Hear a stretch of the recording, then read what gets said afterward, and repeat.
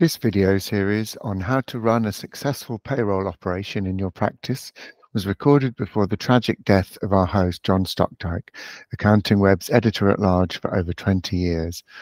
We're running the series now with the blessing of his family. Thank you. Hi, I'm John Stokdyk for Accounting Web. This video is part of a series that we're recording with accountants who use Sage payroll products as part of delivering this service to their clients.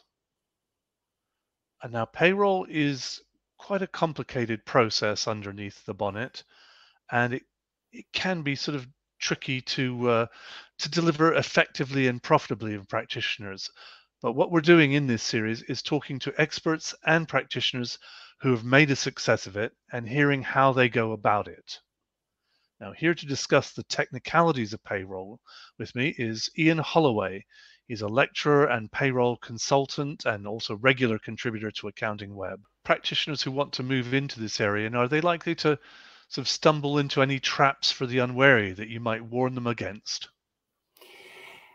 Into traps. Well, the biggest trap that I've come across, having worked for a number of bureaus and a number of accountancy practices um, in the past, is the trap of believing that payroll is pay, payroll is payroll. So this client, for example, they've got a payroll. Well, that payroll, I can do that payroll, and my, this client, well, that payroll is going to be exactly the same all payrolls for all different employers are are different. So the trap would be, I suppose, the assumption that uh, payroll is just one one thing, and it's going to take five minutes because it took five minutes with this particular client. Uh, not all clients are the same. Mm-hmm. Could you describe, you know, your your recommended approach to get pricing right?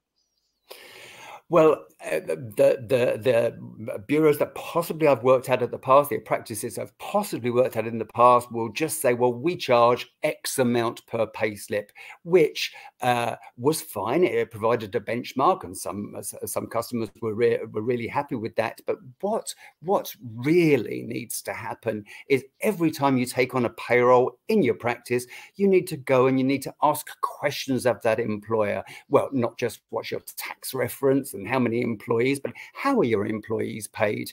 And um, what about uh, uh, compliance with national minimum wage? What about uh, uh, uh, business locations that you have? Are they in England, Wales, Scotland, Northern Ireland, all that kind of thing? Get a real feel for the client.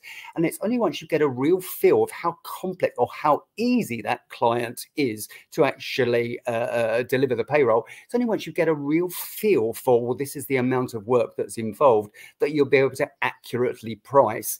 And we shouldn't be playing down the importance of payroll. Um, and I think perhaps in payroll, we're not really good at selling um, the value of payroll, bearing in mind that it's the majority of uh, an employer's cost. So you've got the cost of employment, the on costs of employment as well, and all the different compliances.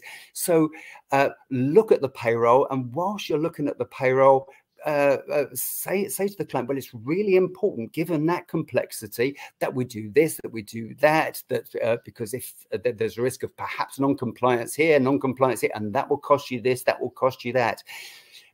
We don't have to big ourselves. We shouldn't big ourselves up. We shouldn't inflate uh, the worth that that we do in payroll.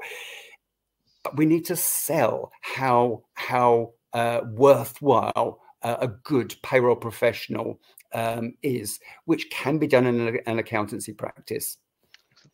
And finally, what you know, can you take us back to some principles that our viewers should hold cl closely to them to providing a good payroll service? the principle, the main principles.